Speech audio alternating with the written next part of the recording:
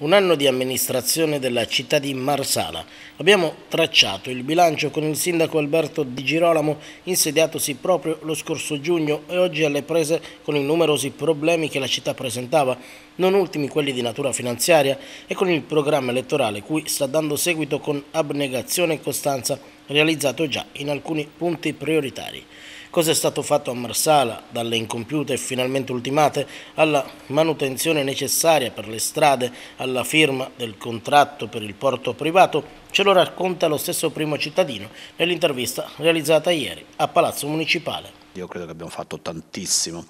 perché noi ci eravamo prefissati di lavorare nella massima trasparenza e nella massima legalità e di portare a termine la maggior parte delle opere pubbliche iniziate e mai finite, io dico per una filosofia diversa, per non dire altro, perché prima la logica era quella di fare opere pubbliche e poi eh, se fosse portato a termine o fruibile poco importava. Il Monumento Emile era stato iniziato circa 30 anni fa e passa forse 30 anni fa, la prima pietra aveva messo l'onorevole Crax, non so quanti soldi erano stati spesi e, e, e noi siamo riusciti a portarla a termine, dico anche gli altri ci hanno lavorato attenzione, noi eh, abbiamo avuto il coraggio, io soprattutto e tutta l'amministrazione, quei fondi per il ristoro della guerra libica che è andata al comune di Marsala potevamo spendere per fare delle feste, per farci degli amici. Questo era messo nel programma portare a termine eh, le opere pubbliche, ma Palazzo Grignani, Palazzo Grignani hanno speso un milione e mezzo, forse due milioni per eh,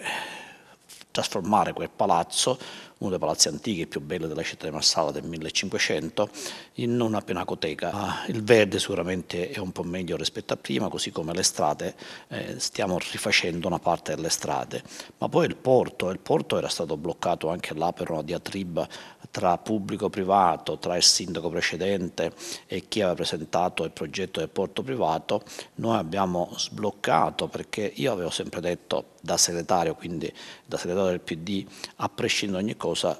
l'importanza che si faccia il porto a Marsala, perché il porto a Marsala che significa investimento di circa 60 milioni, significa lavoro per decine o centinaia di persone e poi cambia l'economia della città.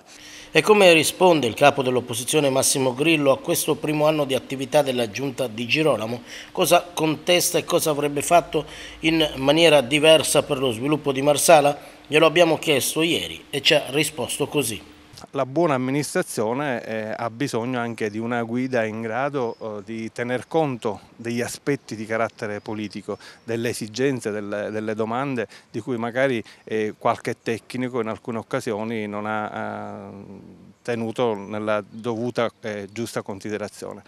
Quindi eh, partendo da questi giardini eh, continuando con quelle piccole cose che sono state fatte e che mh, mm, riconosco, eh, ma sono purtroppo soltanto queste che eh, ricordo, io voglio cominciare dalle cose positive parlando dell'amministrazione di Girolamo, ahimè devo oh, considerare anche questi aspetti, e cioè gli aspetti di opere eh, incomplete, abusive, non sanate, che non eh, rispettano eh, le regole più elementari della, della salvaguardia dei cittadini.